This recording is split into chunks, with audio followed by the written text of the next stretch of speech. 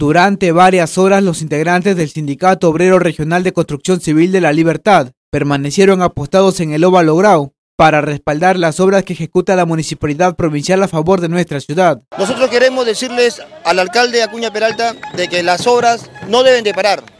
Lo que él promete se cumple. Él prometió obras emblemáticas acá como es el terminal terrestre, como el complejo Chicago, como los Juegos Bolivarianos y también nombraron el, el óvalo del, del bypass. Entonces queremos de que se realicen esta obra. Durante el plantón hicieron una olla común y solicitaron que no se ponga trabas al proyecto del bypass del Óvalo Grau, que tiene programado ejecutar la gestión del alcalde César Acuña a finales del presente año. Nosotros tenemos, tenemos conocimiento de que ya hay una empresa ganadora ya. Es el- eh, esa empresa ganadora queremos que nosotros que se ejecute el trabajo. Ellos tienen todo, ellos han sido seleccionados por los funcionarios de la municipalidad. Hay documentos formal de que ya hay una empresa ganadora. No queremos más atraso. Descartaron que con este tipo de hechos busquen generar algún tipo de enfrentamientos con otros sindicatos del mismo sector. Uno de, de nuestros objetivos es poder compartir con otros sindicatos, ¿no?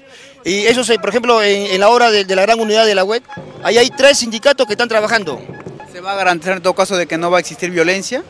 No, no, no, en ningún momento. Aquí en este sindicato somos nosotros sindicato de la CTP, aquí no hay violencia, aquí no hay extorsión, aquí no hay delincuentes. Asimismo, el dirigente de este gremio espera que la comuna provincial otorgue puestos de trabajo a los integrantes de su sindicato que integra la Confederación de Trabajadores del Perú.